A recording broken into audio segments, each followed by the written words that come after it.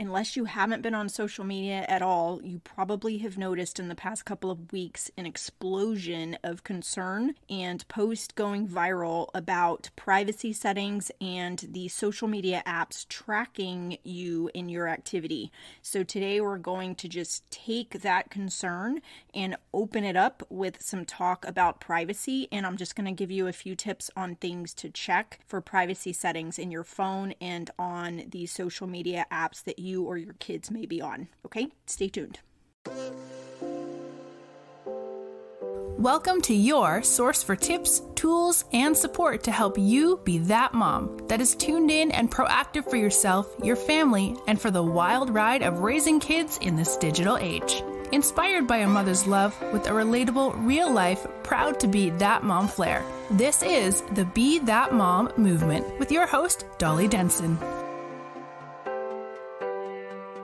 Hey friends, did you hear? There is an app that will transform the safety of your kid's smartphone and technology use. It is my favorite way to sleep easy at night and have peace of mind because it is monitoring my kids' activity online without me being in their business. It is the Bark app. And yes, bark like a dog, bark, bark, bark. It tells you when there's something that you need to be concerned about. Starting at a small fee each month, you can protect your whole family across all devices. Get connected with Bark today. Use code BeThatMom for 20% off your subscription for life and get a seven day free trial to check it out. So, welcome back to the Be That Mom Movement podcast. I'm so glad that you are here. Again, thank you so much for your support of this podcast and reaching out to me and telling me how much this has helped you, whatever episode it is that you're tuning into. So, I hope today's episode will be another one that's going to give you some peace of mind and help you have some tips and tools for you to manage the wild ride that is raising kids in this digital world. But, I want to give you a quick disclaimer before I start, and that is that kids on social media is always a risk. So I will give you some tips of things that I find helpful, but I give that to you as an educational place. I in no way want to make you think that by just doing these things that you're going to keep your kids safe. There's always a risk. It's always changing.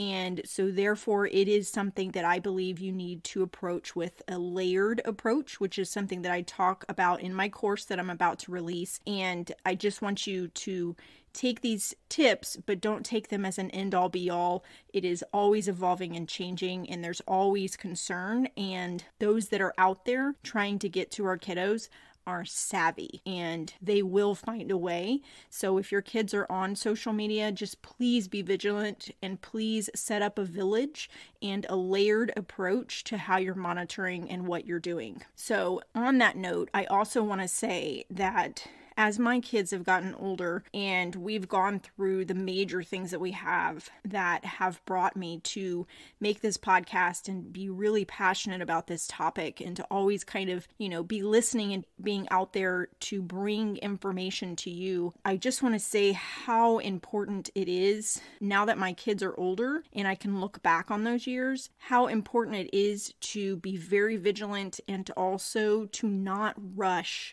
the smartphone and the giving of social media in those early years, the years where parents are giving it unsuspecting and not realizing how much of an influence it is. And the reason I say that is because each one of our kids, if you've listened to my story, you know this, but my kids are about four years apart each. And the oldest did not have the digital things emerge and be as pervasive in her life until she was up into the high school years. The next one had it younger, and then the next one had it even younger. And so I had the unique perspective of seeing how pervasive and influential that could be. And I also believe that there's a difference in genders, and I've got two girls and a boy. So I do and did see that there was the influence was different for each one of them and it's different on the different apps as well. And if I had, like I've said before, a magic time machine, I absolutely would go back and change the decisions that I made. But the influence that is there, especially now, it's so very insidious. And I saw a post today that talked about if your child is doing this and believing this, take their phone and all social media and digital access away for a month and have them work on just being themselves without that outside influence of all of the, you know, talks of the time right now and see if they still believe that. And the sentiment of that post, without saying the specific topic that it was talking about, is that so many of these things are so pervasive in our kids' lives now that they have trouble knowing what they actually think and what they actually feel and what their passions are because they're spending their lives distracted and it's sucking them away from the normal childhood milestones and things that we may view as play and you know it's just things that they do as a kid but they're truly things that are meant to be there to help them in the stepping stones that help them to form into the adult they are meant to be and to find the passions and the interests and the things that they're good at their gifts are being stunted because they are not being allowed to have those things. So, one of the best decisions that we ever made with our youngest was to pull the phone and all social media away. And now that he is 17, it is amazing the respect that he has for those apps. And yes, I've allowed him to be back on Instagram and TikTok and Snapchat now, but for years he was not on those things and didn't want to be on those things. But at middle school age, I did let him have those things, and it was not a good influence. And same thing for the girls. So while I talk about privacy checkup and things that you can do for your kids, I do want to stress that despite the, you know, the stigma of being that mom, it eventually will be a place of strength for your kid when you stand your ground, when you be the mom, and when you be that mom that is vigilant and concerned about these things with your kids. I kid you not, the moms that are not vigilant about these things probably have no clue the influence and they will likely crash and burn like I did with my family and I did things the hard way. So be that mom and be that mom that shares with your mom friends about the influences, about the things that you're learning. Share this podcast. If you can, leave me a review on the podcast because that will help it to rank higher with all the podcast things, you know, so that it will be pushed up as something that's recommended so that more moms can hear this and get the tools and the confidence that they need in order to stand their ground, to be the parent and to be that mom that is there being vigilant and not just letting the digital pervasiveness of our society raise their child. Okay, so I hope I've probably overstated that a little bit, but I hope that makes sense because I do want to talk about the privacy checkup, but I also do not want to in any way make it seem like this is an end all be all. And I definitely don't want you to take your guard down and someone out there wanting to do some type of negative influence on your child to get to your child. So, that being said, let's talk about a couple of different aspects that I think will be helpful for you. So, the first thing is phone settings. So, if you or your kid has a smartphone, you know, it's always being updated by, you know, Apple or Android. So, when you have an update, I encourage you to go into the settings, you know, go into the update and see what's actually being updated, and then go into your settings and check, you know, for privacy and for tracking and for things like that. I recently updated my iPhone, and you go to the settings page and go to privacy and security and there, one of the big things is location services. So, especially for your kid, click on that location services and look to see which apps are allowed to see where they are. And this is very, very huge in terms of Snapchat specifically. I would make sure that for Snapchat, that is turned off. And you can also do this in the Snapchat settings as well. But so look at location services, scroll down and look at the different apps and see what they have access to. And then under, let's see, where's it at? On the iPhone, there's a safety check now where you can manage who has access to like your location and different things. Like if you shared your location in the maps, this is a place where you can remove that sharing your location type thing. So, lots of different options there to be aware of, but you can go through under privacy and security and just look at all the different options.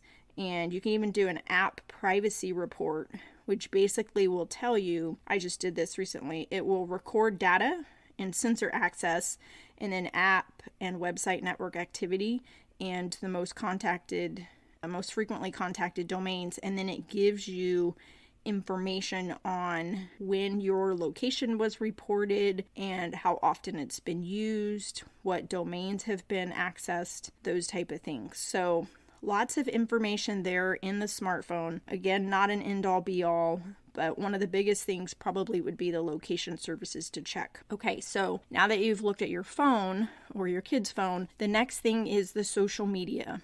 And each one of these is different and is always changing. But I'm just going to talk about Instagram, TikTok, and Snapchat because those are the most common that our kids are on. But for Instagram, you can go to like when you're on your profile page or their profile page, click on the three little lines at the top and then go to settings and then go to privacy.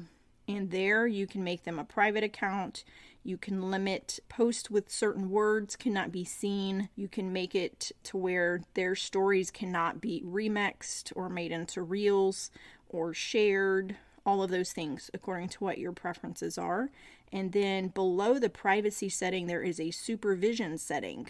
And so this one, you can actually supervise a teen that has Instagram. So you just follow the prompts and it will have you and the teen set that up to where you can supervise who they're interacting with, what they're posting, what they're doing. So that is a new option that I uh, hadn't seen before. Maybe it's been there for a little while because I hadn't looked at that lately. But that's definitely something to check out if you do have a teen that is on Instagram. The other thing that you can do with Instagram that I did years ago was to have my teens log in as another account. So when you click on your name, if you don't have more than one account, you can add more than one account onto your Instagram app and then click on your name at the top and you can add an account and then you can toggle back and forth between their account and your account. So, and that with that, you can see their messages and their posts and all that they're doing. You can check who their followers are, who they're following, and all of that. So that is what I did when mine were younger and I was wanting to monitor what they were doing. Okay. So then the next thing that I want to talk about is TikTok. And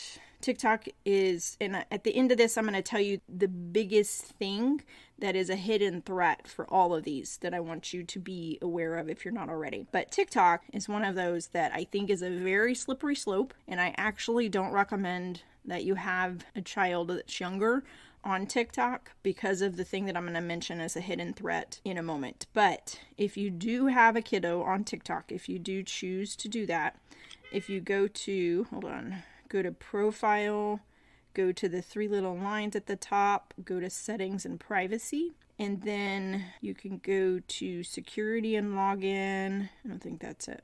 Hold on, let me see. There is a privacy section, and then there is age related settings for users, and it may be because I, it knows I'm an adult account. Okay, privacy there, so you can make it a private account and you can turn off where your account's suggested to others. You can turn off comments, allow or not allow mentions and tags and direct messages. You can put who their, their story is shared with, who can duet you, different things like that. So has all of those. And then there's also a TikTok for younger users that you can set up. However, I don't recommend that. I honestly don't. If that is something that you want to do, that is an option as well for TikTok. So both IG, TikTok, and Snapchat location services is huge, huge, huge. Make sure that you check that in settings and that it's not something that they have turned on. Okay, so then the last one that I want to talk about as far as social media goes is Snapchat, and I don't even know if I have Snapchat on my phone. Snapchat is confusing to me. I've never been able to understand it, but I know it is where kids communicate. It's kind of crazy. Okay, so the things with Snapchat is when you're in the, you can go to the settings, which is the gear icon, and I kid you not, I do not know how to operate Snapchat very well. And usually, when I okay, if you click on the page or it looks like you're gonna take, gonna take a picture, click on the little profile on the upper left, and then click on the gear icon upper right, and then scroll down to the who can section. Okay, so if you scroll down to privacy controls, it looks like they changed some of the names on it, but go to privacy controls and you can put who can contact you view the story, see my location, see me in quick add, and then the family center. So, highly, highly, highly recommend that you check that if you have a kiddo on Snapchat. There has been instances where predators have been able to actually go to kids' houses to meet up with them. Drug dealers use Snapchat to reach kids and sell them drugs. There's a very prominent person out there, and I can't remember what her name is. First name's Laura, but her son actually got drugs through Snapchat. They were laced with fentanyl or something to that effect, and it actually killed him. But it was through Snapchat that he was able to get the drugs. So, Snapchat is another one that's like a black hole and very very important that you turn off the location services and be very much open with your kiddo and communication and all of that okay? They do also have something in snapchat called the snap map and that's where you can share your location with others and that can be set to ghost mode. So i recommend that you make sure your kids is is set to ghost mode on that so that they cannot be located anywhere. Okay, I was just gonna say something and now I forgot what it was. Okay, I don't remember what it was, but my biggest takeaway for all of these is private account versus public account, their location settings, and then monitoring. Oh, and now I remember what it was. Okay, so a lot of times what happens with parents, and I think I've mentioned this in a recent episode, but a lot of times what happens with parents when the kids are younger and you give them the phone is there it becomes there becomes this tug of war between you and it creates this feeling of distrust and kind of like you know, you're snooping and trying to figure out what the kid's doing because they're not telling you the truth. And there's a period of time in there in those years. I mean, I, I can talk about this to some degree now because my kids have gone, all three have gone through that. And I can remember how you're like, ooh, I don't know if it's puberty and hormones that is causing this change in their demeanor or if something else is going on.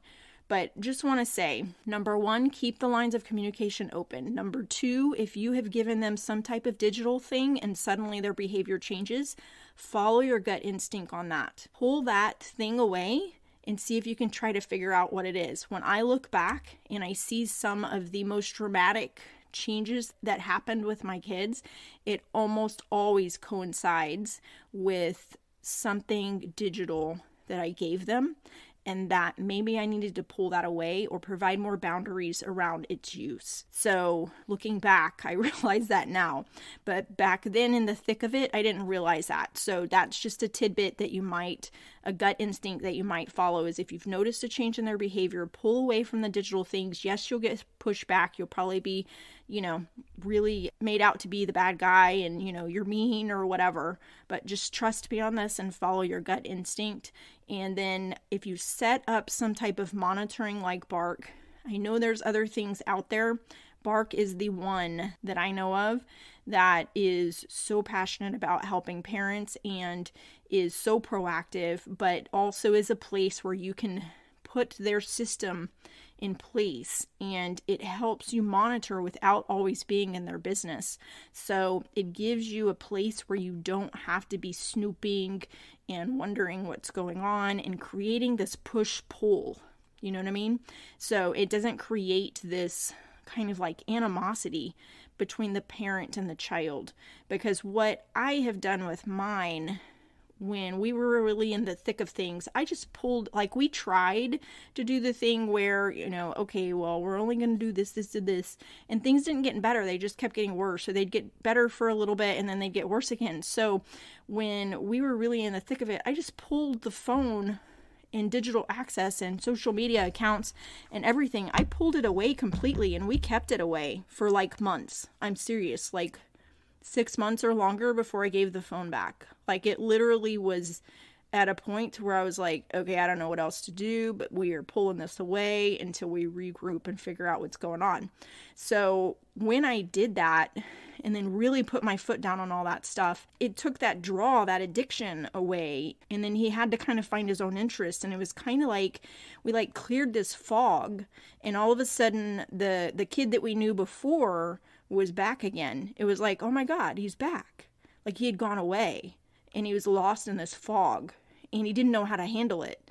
And so, what we were seeing with behavior and decisions and all of that was him not knowing how to handle the digital influence and stimulation and addiction that was happening. And we didn't know that that's what's happening because we as parents didn't grow up with those digital things at that age. So, while I certainly didn't wouldn't want to choose the hard road for us, I'm so very thankful that we could get through that and that we have a medium like this, like this podcast, that I can bring this out to people in the world. So I hope, hope, hope that this is helpful for you today to just kind of hear this and hear this from my heart. I always have to put a kind of a shade of, you know, not telling all the things for privacy of my children, but they know I do this podcast and they are very happy about the information that I share, and they're all healthy and thriving, and it's just amazing. But for whatever reason, the hard parts were a part of our story, but thankfully, nothing tragic happened in our life.